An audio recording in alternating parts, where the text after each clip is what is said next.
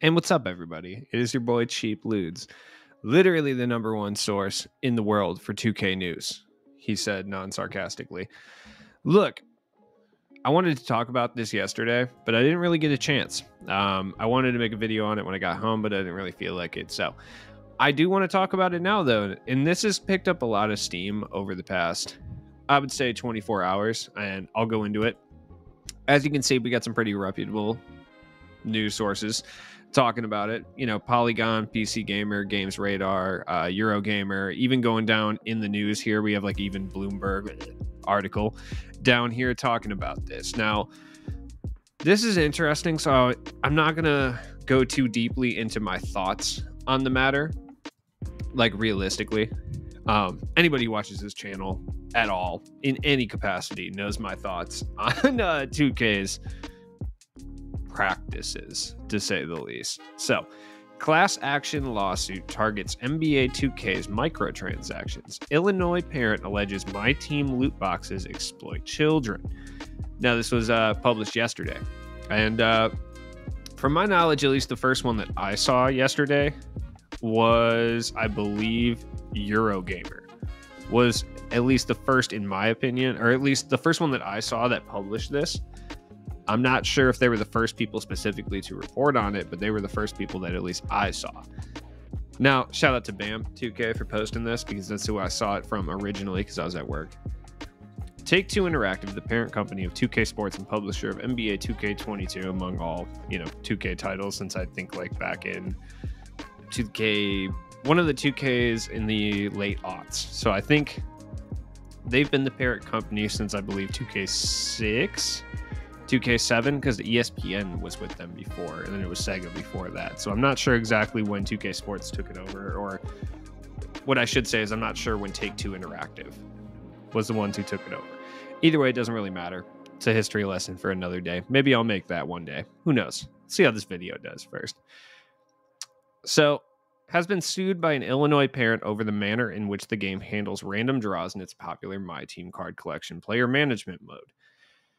Now, first off, I find it interesting that the uh, this lawsuit is actually coming from the hometown of NBA player Fred Van VanVleet. Fun fact, really interesting. The case moved from state court to federal court on Take Two's motion. So essentially, what that means is Take Two wanted to push it to federal court, and the reason for that is probably because they believe they have a better chance in federal court than they do in, in state court, which is accurate. The Illinois state court might actually rule against them. Uh, federal court chances are will not. So it alleges unfair, deceptive, and unlawful practices, including illegal gambling practices. Now, if this was a title that was T for teen, um, I think even T for teen would be an issue. But if this was an M rated title, I don't think we would be seeing any type of lawsuits coming out of this. But because it is an E for everyone sports title, that's why we're seeing lawsuits come out. And if you guys aren't familiar, this is not the first lawsuit involving microtransactions. Uh, there's been a few in the past already. Blizzard has been hit with some over their Overwatch, kind of aggressive microtransactions. Granted, those were mostly cosmetic. Um, in addition to that, we've seen it happen with FIFA. EA has been hit with a few of these. Um, the most famous of which would be Battlefront 2 in EA from 2017. So it's interesting. The plaintiff seeks class action status for the case and at least 5 million in damages. Take Two Interactive is only the defendant. Now, here's the thing. I'm not a lawyer. I do not have a law degree, right? So I can't explain why 5 million is the amount uh, that they're asking for. Now, what I can say is I'm guessing the 5 million is a shock and awe tactic um, and the, what I'm saying by that, and I could be wrong, if any actual like people who know law are in the comments, please do comment because I don't know what I'm talking about specifically. This is just my interpretation of it. My interpretation of it is that they're saying five million for a shock and awe factor, right? You put out five million, and then you just hope for a settlement from 2K so 2K can make this go away. Now, this is still likely to happen in that case. Um, it would be likely that 2K would just settle this and kick it under the rocks and I'll talk about why they're going to do that later. The amount of money they make, five million, is nothing to them. Five million to 2K is literally like ten dollars to me. Like it means nothing to them. Right? Are they going to pay out five million? No. Chances are they will not. They'll pay much less than that, but they'll probably just settle it out of court just to bury this story as much as possible. But with the somewhat decent amount of coverage this story is getting, um, it might be difficult for them to completely bury this story. And they might actually have to implement some actual change into the model for my team specifically, and by extension, also for Park. Uh, the reason for that, I'll talk about in a second. A Take Two representative declined to comment to Polygon, saying the company did not comment on legal matters. Okay. Um, first off, it's probably not wise to trust a company that will not even put out a statement about this. Um, 2K typically will do this when they are met with any sort of controversy in regards to their game. They will typically remain silent. Uh, which all I can say about that is that is a pretty good indication that they're doing something wrong and that the lawsuit might not be completely fraudulent because they refuse to even talk about it. like realistically. Um, I really need to invest in an ad blocker, but YouTube does not pay that well. I know it's only like five bucks a month, but you know, it is what it is. NBA 2K's My Team functions a lot like EA Sports Ultimate Team modes, which have likewise been hauled before courts and legislative hearings over loot box practices. Yes, they have. Um, players acquire packs whose contents are unknown for an in game currency that is both freely acquired, okay, and bought with real money. Here's the thing though I've had a theory for a while, and it is just a theory. And I have absolutely no proof to back this up. And I will say this in this video. Uh, just because I would like to protect myself, more or less. Uh, my theory for a long period of time was that VC, the purchasable currency in regards to 2K when it comes to my team, has better pack odds than MT. I've said this for a long time. Anybody who's watched my channel knows. I've been saying this for a long time. And I've always had better luck when it comes to VC, when it comes to purchasing, than I have with MT in current, like in game currency. I have. now, is that accurate? One could not say one way or the other. I've had good luck with both. I've just felt like my good luck has been more prevalent when I've spent money on the game. Inside the packs, players are inside the packs are players and other items of variety her varying rarity and usefulness. This is the key right here. Usefulness. Usefulness is the key. All right. Now, I have no issue with video games even aggressively monetizing their game when it comes to cosmetic items. I personally don't see a huge problem with this, and this is coming from someone who I would say, you know, has socialistic tendencies. Right? I don't have an issue with that completely. I really don't. Like Fortnite, for instance, I don't mind that they charge two dollars for a Spider-Man skin or whatever. Like capitalism's gonna capitalism. I, it doesn't really bother me whatsoever. You know what I mean? The problem I've always had with, in addition to you know my team, it would be Ultimate Team, um, any of the card collection modes. Realistically, is that they not only come like they combine the prevalent microtransactions of video gaming, but then they're able to combine that with pay to win mechanics, which I think is a huge issue. And if this stuff were to happen in other games, and we've seen it, there would be a lot more outrage. But you see, sports games typically do not receive the same outrage, right? if this type of tactic, the tactic that my team and all the other card collection modes do of random pack drops that you can buy with money that will give you things that make you better in the game, if you were to apply that to a competitive level shooter, you would see that taken out almost instantaneously. I mean, we've seen it with Call of Duty just putting in skins like the all blacked out operator skin in Warzone. So we've seen them do stuff like that. And back in the day, I mean, we saw you know, Call of Duty do pre order guns and stuff like that that would take forever to unlock under normal circumstances. So we've seen it to a certain extent, sure. Um, but it is extremely prevalent in these card collection modes, especially my team. My team is especially bad at this. It's arguably the worst out of all of them as of right now in regards to players that are purchased with money or players that are purchased with time, there's a big discrepancy between those two things, right? The best players in the game are all purchasable squads. If you want any any evidence to that whatsoever, look no further than the 250k tournament yesterday. Or 2 days ago. Yeah, 2 days ago. I forget what day it is. Look no further than that tournament. You could go through and you could look at every single squad that was ran in that tournament by every participating member of the tournament, and you would find very, very little in regards to earnable cards like reward cards being ran on those teams. Almost every single player on those squads, aside from a few random guys here and there, regardless how cheap that they are, quote unquote, um, they're marketable or auctionable players almost every single time. So, something to think about. The Illinois suit alleges that NBA 2K22's payment scheme psychologically distances players from the reality of spending real money, which it absolutely does. Such transactions are also attractive to minor children who have less understanding about the difference between spending real currency and virtual currency. Kids are also unaware that these purchases are not refundable and they usually make them with their parents' credit cards. This little paragraph right here is extremely important. And the reason I say that is because it's 100% factual. Um, there's no misconstruing this statement right here. This is literally the business model of these modes. Right here. What you attempt to do is you push people towards spending money because they need to improve the players that they're using so they have a better chance of winning. And then when you do that, you make it seem like they're not spending money or at least as much money as they are spending. And that is 100% accurate and there's no question about it. Anyone who's played these games unless you're a content creator or unless you're completely brainwashed or just obsessed with this game and you just don't want to see its flaws, you can see this. This is real. This is 100% accurate. Especially when it comes to children, because when you look at something like a credit or a debit card, it's already not a physical sum of money. They already can't see the money physically draining from the account.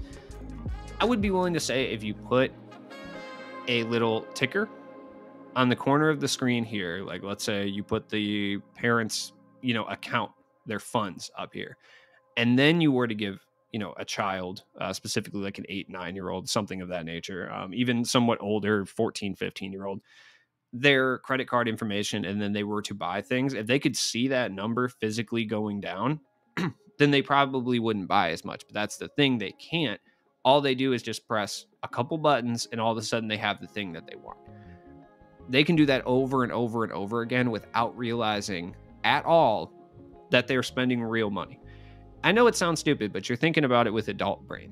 Of course, it sounds stupid to us. Like, we're older. We know what a bank account is. We have a bank account and we know how the little amount of money is in that bank account. So we know. But children don't have that same understanding of currency and understanding of like what money means at this point. So it's very easy to trick kids into spending a bunch of money on these games, especially because it's not even their money, it's their parents' money. When you're a child, you just assume, especially if you're in a middle class family or even lower middle class, that your parents just have unlimited money. Like you don't understand the concept of money. We've all been there at some point, unless you grow up very underprivileged. Like you understand a little bit that maybe there is a like a finite amount of money that your parents have, but you don't understand how much that is. And you don't understand that most people are like two paychecks away from homelessness, right? So you could just run up your parents' credit card and they would have no idea. Then let's have to deal with it later. And you don't ever hear about it. You know what I mean? And you could blame it on the parents, but that's not accurate and really in any capacity. Like the whole marketing scheme, I mean, companies like 2K make majority of their money off of people like this in this lawsuit. That is their main demographic. Their main demographic are straight up people who are addicted to the game and they will spend whatever amount of money that they have because they don't care and they're just addicted to opening packs. They're gambling addicts for more of a, you know, less term, really. Or they make their money off kids who don't understand what money is. That's just a fact. Um, we've seen it with FIFA Ultimate Team for years to the point where they've had to actually make changes in their game.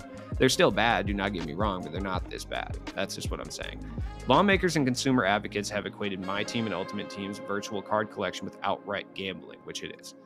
Uh, though representatives for EA Sports and the Entertainment Software Association deny that this is the case, which it's the audacity to deny it. I understand why they're denying it because you you kind of have to if you're doing it.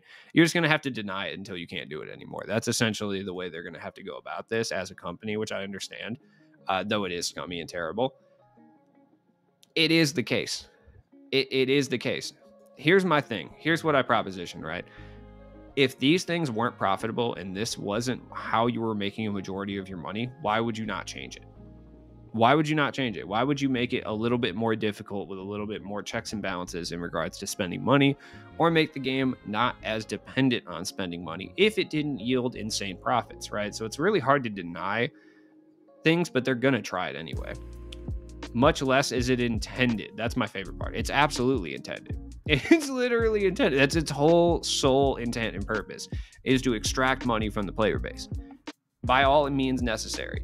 The whole purpose of it is to push you towards a pay to win model and then get you to gamble on these packs and then keep spending money until you get what you want. And the idea is to not let people get what they want quickly. The idea is to make sure that, you know, at least a certain monetary threshold has been hit before you let people, you know, off the hook, so to speak, at least at that current time. Right? Like, that's the whole point. There's a reason that when you look at these games, they have weird bundles of currency. There's a reason that 2K packs don't ever come out in a even number. That's also another thing that they do. I mean, you look at 2K packs, it's not like they're 5,000 on the dot. So if you buy 450,000 VC, you're able to buy a certain amount, right? Like if they were 4,500 per pack, you could buy 100, right? For $100. You could buy 100 packs. Each pack would be a dollar, roughly, right? No, instead they're 15,750 per pack. So it's an odd number, so it encourages you to make another microtransaction. And kids don't really understand the difference. You know, they don't understand the difference between this fake money that they're doing and the real money on their parents' credit card, which is what this lawsuit is essentially doing. Right? That's real. I know there's a bunch of people are going to come in here and just talk a bunch of like cash for no reason and tell me that I'm overreacting and it's actually the kid's fault or something. And like, you know, some other like vaguely psychotic things that are going to pop up in the comments here. But like, if you are unwilling to admit that this is a problem in the video game landscape, period, not just in sports gaming, then you're a lost cause. And I don't really know what to tell you at this point. Like, I don't. If you're going to defend 2K for the things that they do in regards to their pro- their really really predatory monetary practices, then you're too far gone and there's really nothing I can say that's going to change your mind on this fact. Like it's just not going to happen. Loot boxes started drawing mainstream outrage and attention in 2017 when several AAA video games, Star Wars Battlefront 2 being the biggest of that. That was a very large lawsuit. And I actually don't know how that ended. It's an interesting one use them in various indirect pay to win schemes. Now, here's the thing the keyword indirect pay to win scheme is extremely misleading. Okay. It's a pay to win scheme. It's not an indirect pay to win scheme, it is a pay to win scheme. The problem a lot of people have is they spend a lot of time on the game and they get really good at the game. Um, and then they come out and they're like, it's not pay to win because I'm really good at the game and I beat people who pay money. So it's not pay to win. That's not accurate at all. Uh, at all. Realistically, at all. It's not. Just like, you know, a lot of things in life are not technically pay to win. Like basketball, for instance, wouldn't technically be pay to win, right? But you would have a better shot if you went to AAU prep every single summer and went to basketball summer camps every single summer and spent thousands on thousands on thousands of dollars refining your game you would if you were at the exact same physical skills, physical gifts as someone else, you would have an advantage over that person because you're more trained in that thing, right? Which I guess is a bad example to a certain extent, but what I'm mainly saying is somebody who spends money when you're at the same level is always going to have an advantage over someone who does not spend money. That's just facts. If you take LeBron James and you take two LeBron Jameses, right? You take one, you put them in every basketball prep that they could possibly be in from the age of like six to, you know, 17. And you take one, and all he's basically allowed to do is just go hoop at the local basketball court, you know, all the time. Chances are this LeBron James is at least going to be technically better than this one. Physically, they're going to be the same. This one is probably going to be better at the game of basketball as it is currently played. That's what I'm basically saying. In 2019, Senator Josh Hawley eh, proposed a bill banning the sale of loot boxes to children. Now, I do agree with that bill. I just feel like there's no way to really implement it realistically, but the legislation attracted bipartisan sponsorship, but otherwise has gone nowhere in Congress, obviously. A state law proposed in Hawaii's legislature in 2017 likewise failed to advance. Regulators in Belgium also ruled in 2018 that loot boxes in Blizzard Entertainment's Overwatch were analog analogous. I don't know how to say that word, so I apologize. Uh, to gambling. Blizzard disagreed. Blizzard is not exactly the most reputable company in the world, if we're going to be honest here, but pulled the content from sale in that nation anyway, which is good. Though microtransactions still play a large role in NBA 2K22, a lot, oh my god, the series shifted its tone after 2019's 2K20, which was marketed with YouTube videos that emphasized the gambling themes of several minigames. So essentially, what 2K did here, and I want to I want to specify this because people do like to point this out and be like, no, look, 2K changed. Like they they made a mistake in 2K20. Like they took all the gambling stuff out of there, but they didn't though. Like they didn't. all they did was just changed it a little bit so it's not, it doesn't look as gambly, but it's the same. Instead of there being a slot machine, it's a vault. The odds are the same, the mechanics are the same, everything's the same. Uh, the Plinko balls are still there. The Plinko's still there on rewards. You don't get a guaranteed reward. You have to play a Plinko game every single time, which is randomly generated for the most part. Um, also, they brought the gambling stuff back in with the clutch time wheel. Like it's literally a wheel that spins. The daily login is a wheel that spins that you can't control. It's literally just there to make you think that you're going to be able to control it. it. It needs to be said. Like they didn't make any marketable changes at all. They just changed the aesthetics. That's it. Like they're aesthetic, cosmetic changes, but the core foundation is still the exact same as 2K20. There's no different. Yes, 2K22 has gone has gone a little bit in a better direction with the free rewards. They're giving people more free cards and stuff like that. And I think part of that is because they knew stuff like this was coming. So Electronic Arts has gone further in self-regulating. The term self-regulating is just disgusting. You cannot trust a company this big to self-regulate. It's not going to happen. Look at British Petroleum. How well have they self regulated, dude? They've had oil spills every year for the last two decades.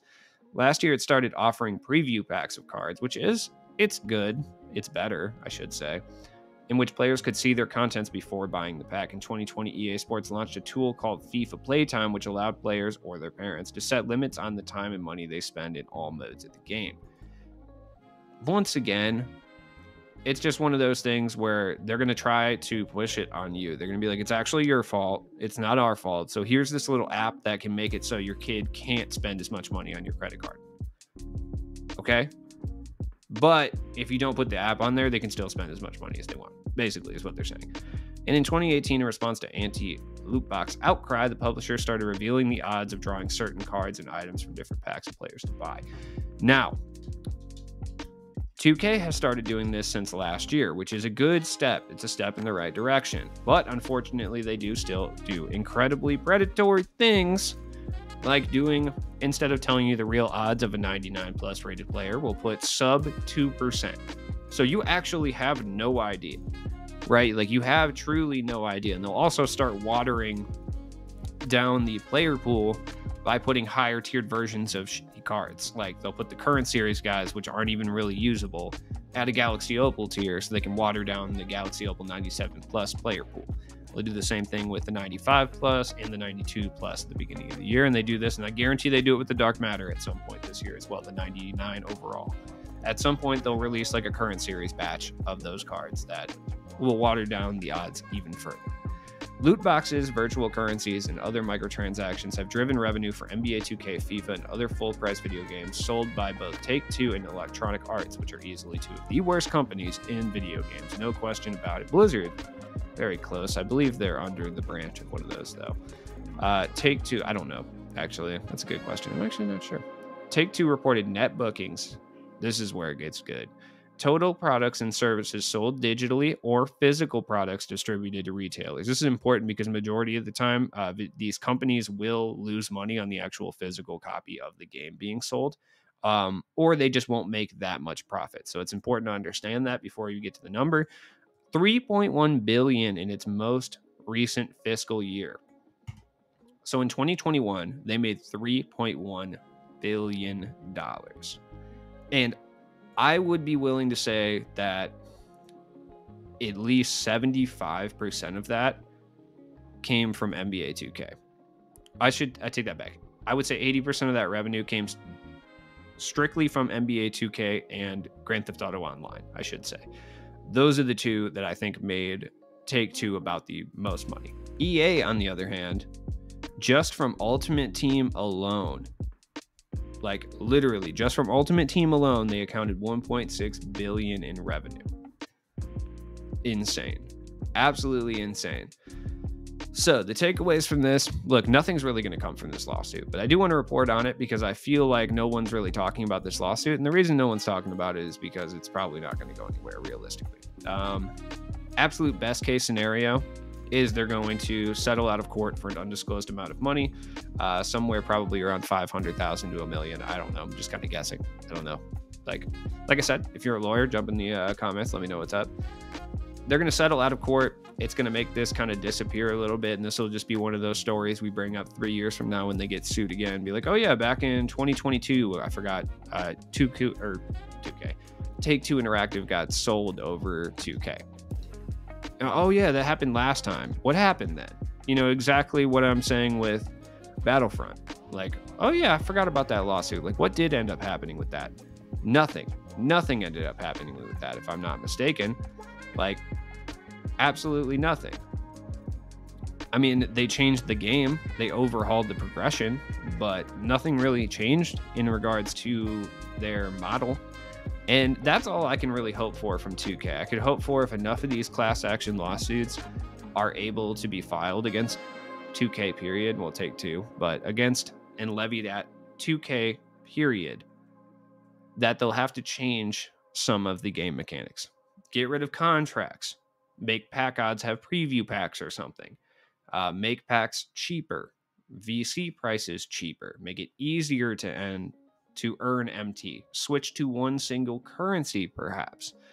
Do any of these type of things, right? Anything to improve the experience for the average player. Is that going to happen? Probably not. But regardless, spend your boy CheapLudez. Sometimes I like to do real news. And I'll see you guys later. Peace. Just realized I just looked like Richard Nixon when I do that. Don't I was watching Point Break earlier, like deal with it. The acting in that movie is just so bad. I don't know what to tell you.